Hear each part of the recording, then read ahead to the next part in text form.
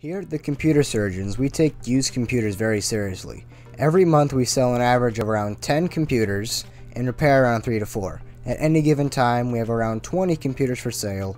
Each of these computers goes through a comprehensive test suite to make sure that they are a perfectly reliable computer before they're put out for sale. This is the table that we follow to make sure that they're bulletproof before they go out for sale. And this is the computer that we're going to be working on today. Nothing special, it's an HP. About 10 years old, but still gets the job done. Had Windows 7. It's going to be getting Windows 10 today. Basic specifications when it was first made. That was very nice back in the day. Even now it's not that bad.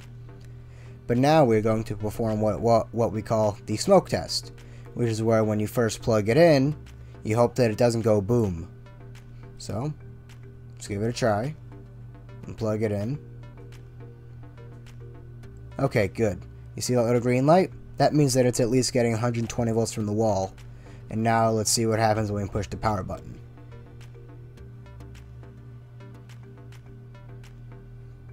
Okay, there we go. We're booted up. And as you can see, it has a lot of RAM. 24 gigabytes. That is a lot. That's the most this computer could handle. And for some reason, it's not detecting any hard drives. We'll diagnose that later. It could be that the drives are bad or they're just not connected because it's only recognizing the uh, disk drives. So I'm guessing they're maybe just bad. And there's the Core i7 that it has in there. Very nice. Just going to quit without saving. And now it's time to get to dusting the computer. Made in 2010. Not bad for a computer 10 years old. Now we're going to get to the part where we start dusting the insides of the computer. Over time, they get gunked up with dust, and they can start running hotter, which is not good. You'll want computers to run as cool as possible. So I do recommend every once in a while you take your own personal computers out and just blast them with some dust, get them clean. Now we're going to start looking at some of the individual components. This is the power supply that powers the computer. Looks nice, nothing's blowing inside, there's the fan. So now we're going to put it all back together. And now we're to the graphics card. Not all computers have these, but some do that are more powerful. Once you have all the screws removed, you just separate it. And you want to take off the cooler that's on the other side, where the copper was. Then you just want to take your little can of dust and blow dust out that way. Then you want to take a paper towel and just remove the old thermal paste. That goes in between the um, chip and the cooler itself to fill any micro gaps. On this, you want to put a very tiny amount. You don't need much, otherwise it will flow over the sides. That's about all that you need. Then once that's done, all you do is you put the two halves back together. So now what you're going to want to do is do the exact same thing with your CPU cooler as with you did with your graphics card. You're going to want to take the four screws off of each corner with this one in particular and remove the cooler. Take off all the thermal paste, I did that off camera you want to put about a pea-sized amount of thermal paste right in the center. It'll spread out once you put on the cooler, so don't worry about that. Then you're just going to want to make sure it's directional. It only goes on one way. And then just going to put in the four screws diagonally so there's not too much pressure on one side. Wow, I have this computer. We got a 2 terabyte SSD. I did not expect that. A 1 terabyte hard drive pretty average, the 1 terabyte hard drive. 2 terabyte SSD was not. And then this other 1 terabyte hard drive. But for some reason it says that, that the drive was flagged bad by Intel in 2014. We'll test that later. And by later, I mean now. This is my little tiny testing computer. I like it a lot. Well, I tested the drives off camera because it took about 5-10 minutes, and I didn't want to film that part. Hi, me. Um, and the drive that was flagged by flagged bad by Intel was bad, no surprise. It still would work, but it's not most re um, reliable of drives. The 2 terabyte SSD was good, thankfully, and the 1 terabyte hard drive was perfectly healthy. That's the one that's going to be going back in this computer. Now it is time to install Windows 10. This is a fairly simple process if you know what, what you're doing all you want to do is just want to uh, select yes to start the installer. It's going to start. You're Going to want to select the version you want to install. It's going to do that. You're going to say yes, you read the license, format the drive. Then it's going to hit next. And it takes about 20 minutes or so. Okay, so as I was doing the Windows 10 install, I noticed that there was a weird noise come from the computer. It was the fan and the power supply, so naturally I changed it out. But while I was in the process of changing it out, I noticed that burnt spot on the motherboard. That is for my front USB. That explains why none of them were working and I had to use one on the back to install win Windows 10. This is not acceptable and I will not be selling this computer until I'm able to source a new motherboard for it. So now we're going to be going to this computer. This is going to be my dad's brand new computer. It is a gaming computer, mid-high end, from around 2013, and it's going to be perfect for the light games he wants to play. So let's make him happy today and get this one going.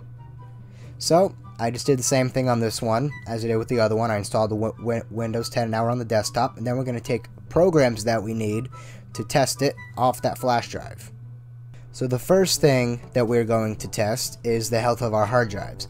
I use um, a tool called Crystal Disk Info to test this. It uses basic info stored in the hard drives to test the health of them. It looks like the hard drive has only one bad sector. That's not worrying at all. This is still perfectly usable. And the SSD still has 80% health as well. That is normal for an SSD around this age. And now after this we're going to test the performance and stability of the computer by running a um, tool I use called AIDA64. It does stress tests on the computer. It puts everything to an unreasonable load and will just raise the temperature inside the computer a lot and make sure that it's not going to overheat or anything.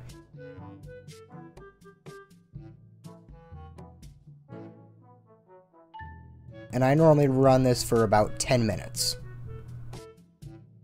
Now it is time to install some basic programs, like Google Chrome, Malwarebytes, VLC Media Player, OpenOffice, which is a free alternative to Microsoft Office, and Java. But because this is going to be my dad's brand new computer, we are not going to install OpenOffice or Java. Java is required to run OpenOffice. My dad is going to be using Microsoft Office because he already has a license for it. After everything is installed, it is time to check for any Windows updates and updates on the Windows Store for any pre-installed apps. After everything is up to date, we run a one hour YouTube video at 1080p to run a low load test on the computers. This is also the time where I make sure that the temperatures are adequate for a long period of time. After it passes that, it is time to run a disk cleanup, which gets rid of a few junk files the computer does not need, and also a disk defragment, which makes the drive more organized for the computer. After that, it is time to take some pictures of the computer and get an ad posted for it online. This is a picture of the front, picture of one side, Picture of the back. Picture of the other side with the side panel on. And a picture of the same side with the side panel off.